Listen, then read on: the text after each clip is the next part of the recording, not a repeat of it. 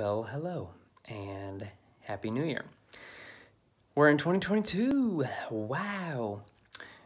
While I'm not one to be super New Year's heavy, I do always appreciate a just kind of arbitrary uh, cleaning of the slate and having a fresh restart. I think that's always good no matter what. And so if it is at the beginning of the year, even if it feels cliche, it's still a good opportunity to recalibrate, recenter yourself and refocus. And so I am going to do a little bit of that myself. Doing that personally, of course, and I'll probably end up sharing some of that stuff with you, but what I'm doing right here, right now, the focus of this is that I'm going to be sharing every day in January. What is the purpose of this? The purpose of this is simply showing up. This is a commitment to myself and to you that I will be here on camera, on YouTube, every single day. The the impact of doing something like this is often understated. This is the reason that 30 day challenges and stuff like that work.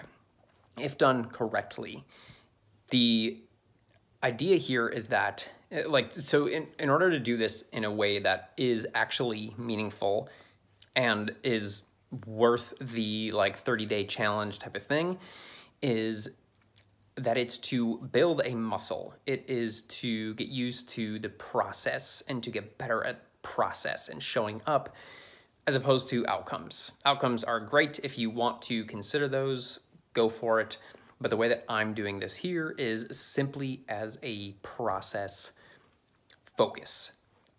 All my plan is for these next 30 days is to turn on the camera, talk a little bit, go back, edit it, and put it on up. And so I'm expecting each day of this to look pretty different depending on what's going on. Some days I might pop in literally for a two to three minutes just to get on the camera and check that box because again, this is a showing up thing. This is the purpose of it, is to show up. It's not to have some beautiful uh, like edited videos. It's not to have some eloquent message for you. And while I'm always going to try to do that because that's just the way I am. Uh, that's not the purpose of this. The purpose of this is simply to show up. So some days I'm going to have those really short videos simply because it's 10 p.m. and I'm like, oh shit, I didn't film anything today. And I'm going to get on and just talk to say that I did it. And that's okay. And then other days, like today actually, will be one that's a little bit more edited, a little bit more vloggy, kind of like a day in my life type of thing. Uh, but yeah, it's just going, going to be a little bit go with the flow. I don't have any preconceived notions uh, as to how these things will turn out. I am really just going into it with the intention of showing up each and every day of January 2022. So with that, thanks for hanging out. I would love to hear if you have your own 30-day thing that you're doing in January, so you can go ahead and hit me up in the comments. Uh, feel free to add me on Instagram at benjamin.m.fritz. I love to connect personally there as well.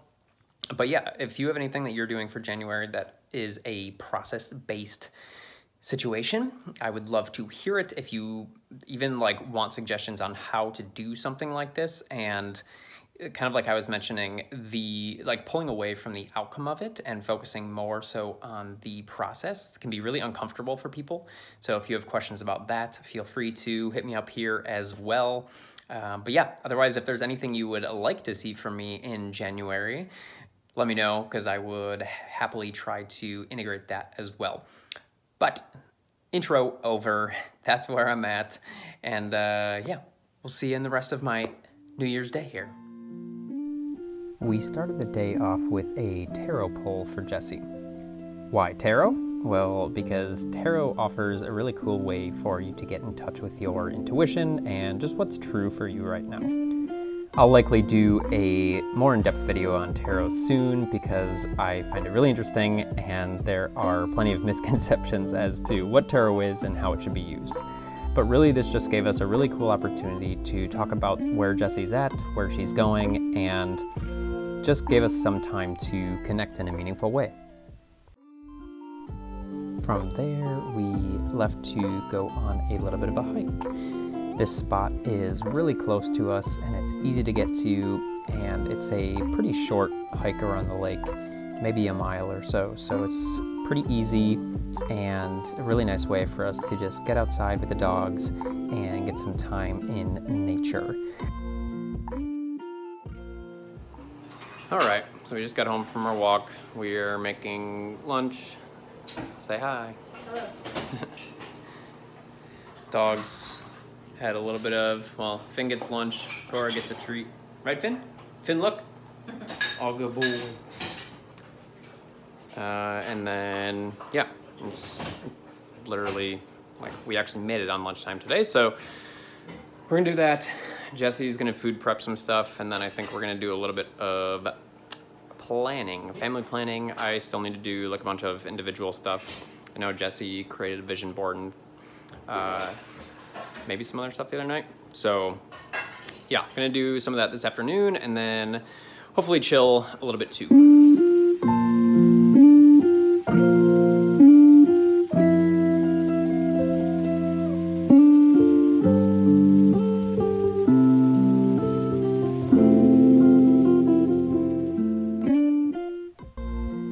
Embody my true nature in everything I do. Share my journey and my process. Hold myself to my commitments. Make commitments intentionally. Be firm yet gentle with myself.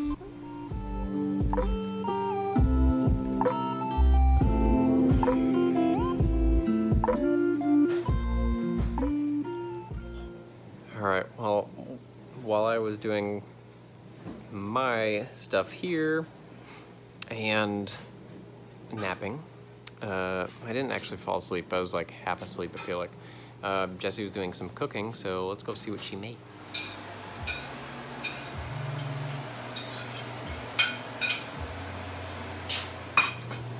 Lentil curry. Brussels sprouts and broccoli. The inside of the chickpea quesadillas. There's mm. also cheese sauce that's just in the fridge. And then black bean burgers. Yum. At this point, I really just wanted to take a few more minutes to sit outside and savor the kind of ridiculous weather, at least for us Midwesterners, here on New Year's Day. Just to give you a little bit of insight as to what I did when visioning and planning, I break things down into four pillars. These things I find to be very effective for big thinkers and deep feelers. I then went on to make things a little bit more specific, uh, time bound things a bit, and then create some things that I would need to do on an ongoing basis. All right, so we're here, filling up. The day is done. It's 10 o'clock, almost on the dot. I just finished Uber Eats. I was out for basically four and a half hours tonight, and I think I had my best night ever. So it's one way to start the new year. Uh, yeah, it'd be good to get that little uh, bit of income to start the week. Um, but yeah, that's it's been my day. I'm gonna go home. I'm going to relax, talk to Jesse a little bit, and yeah, probably just chill out, decompress for an hour before bedtime. So that's it for day one. I'll talk to you guys tomorrow.